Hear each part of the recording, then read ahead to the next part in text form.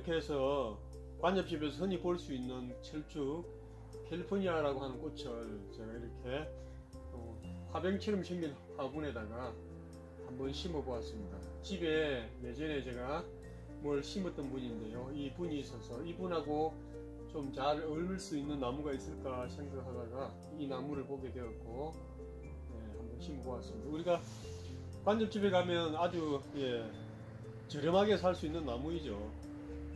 예, 그런 나무이지만 우리가 생각을 조금 바꾸면 이렇게 화려하게 좀 만들어서 볼 수가 있습니다. 내년 봄 되면은 정말 예, 예쁠 겁니다. 그리고 이쪽에 가지 하나는 제가 남겨두었는데요.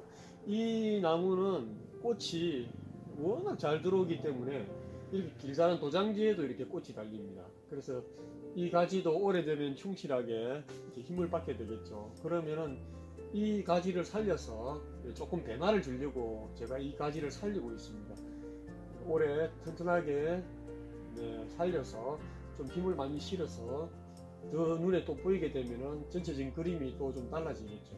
지금은 약간 대칭적으로 되어 있는데 이 친구가 힘을 받으면 좀 그림이 달라질 겁니다. 그래서 제가 그 친구를 날리지 않고 살리고 있습니다. 이렇게